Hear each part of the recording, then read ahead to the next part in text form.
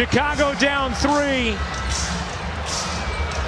Vandersloot gives it up. Parker to tie.